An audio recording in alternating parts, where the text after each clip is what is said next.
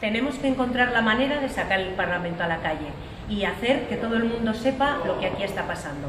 Hoy os vamos a contar lo que ha dado de sí el primer pleno ordinario en esta novena legislatura. Escucharéis de qué hemos hablado la gente de Podemos.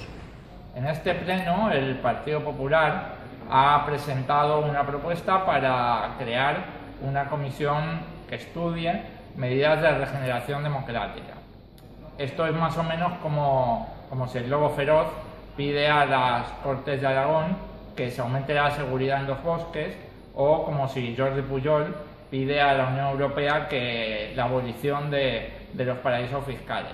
Eh, es una maniobra puramente estética, todo el mundo lo sabía en esta Cámara y por eso en Podemos hemos votado en contra.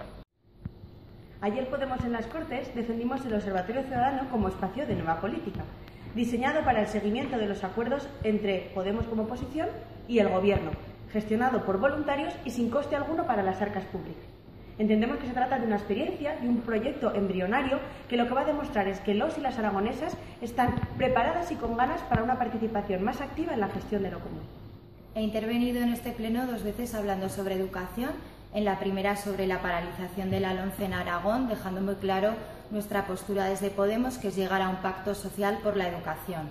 En la segunda ocasión he intervenido para hablar sobre este comienzo de curso, valorando las consecuencias nefastas de los recortes que, eh, sufridos por, el, por la, el anterior gobierno del PP, que todavía continúan y que esperamos que este gobierno pueda subsanar.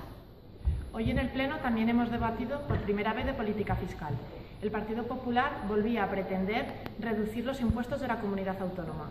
Desde Podemos Aragón entendemos que si queremos conseguir unos servicios públicos, una sanidad y una educación pública y de calidad para todos y todas, no podemos aceptar esto. Lo que tenemos que hacer en todo caso es plantear una subida a las rentas más altas.